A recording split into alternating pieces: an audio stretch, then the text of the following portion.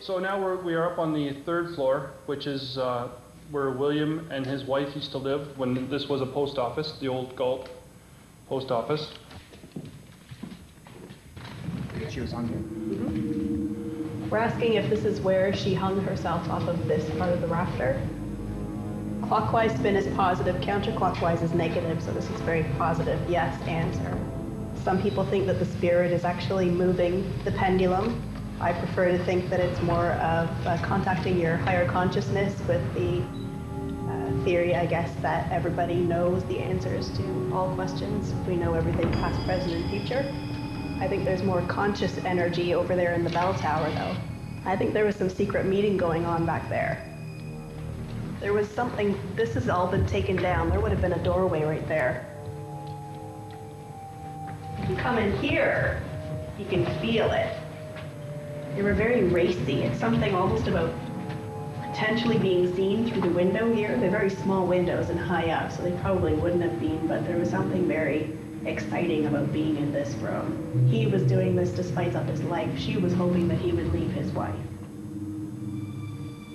Emily is here. But I don't think he cared enough to stay around. When we come back, owner Marv Cohen joins a seance to contact Emily. Well, it's a 1885 building. We, uh, my son bought this building eight years ago. I said I'd come and help him a little bit. I've never worked so hard in my life. But it's a very, very interesting place. Um, uh, it was built in 1885 by the same builder who built the original Parliament buildings in Ottawa that burnt down. And we have tried to reconstruct it, keep it going, fix all of the different uh, areas that need to be fixed because it's just it's 1885. But over the years, we've, uh, we've come into very many unnatural sightings. Many is the time I would come up, especially in the winter, which was quite amazing. I maybe show it once a week, and I'd find the windows wide open, cold. As we started to go up the stairs, the cold would be coming down, just blowing down. And I screwed in about four long four-inch screws into the uh, into the window, right into the sill, to make sure that it would, wouldn't open. And I'd come in the next day, and and I'd feel a cold draft coming down there. I'd go up there, and there'd be screws lying on the floor, window wide open, flapping in the wind again and away I'd screw them all in again. I'd get them, you know, really tight. And again, the next week, felt the cold, and there were lying on the ground, the screws, and the window flapping again. It has been suggested that, after a hundred years of heartache, Emily wants to be set free. And that's why the windows and doors fly open to the world outside. Okay, we're on the, the main floor of the post office where all the postal activity would have taken place. We were just up on the third floor, and Kate was directed to come down here by Emily. Do you want to come down and help us? Yeah. Okay, what, what happens here is the energy goes through the table and then the spirit, whoever's uh, here, will start tipping the table. You spend a lot of time in here, right?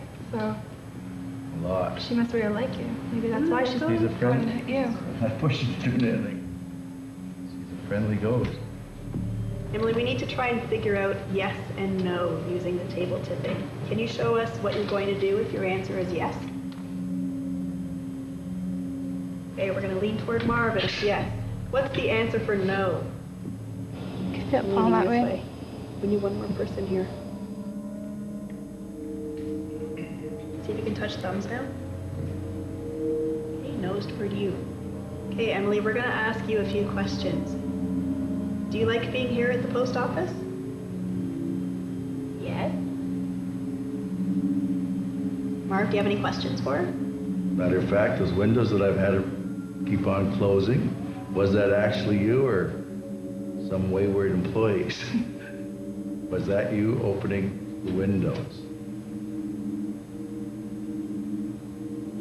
That's a yes. You're having fun with me. Is there anything else you want to say to her? Wanted to have a good time. Enjoy the enjoy the pub. We've uh, completed our investigation of Fiddler's Green. Uh, the psychics have uh, received impressions of uh, Emily. Um, she was upstairs, and I guess she came downstairs to talk to us. They tried the table tipping. which was quite interesting. We put some questions out to her. Uh, we got yes questions, we got no questions, and we got some table tipping. So for all of you watching, anybody who wants a nice ghostly experience while you're dancing and enjoying a drink, I think this is definitely the place. An ill-fated romance binds two troubled spirits to this old building in the heart of Galt. Visitors to the Fiddler's Green are encouraged to come and enjoy a pint of ale. But don't be surprised if you are joined by the restless spirits who still live here.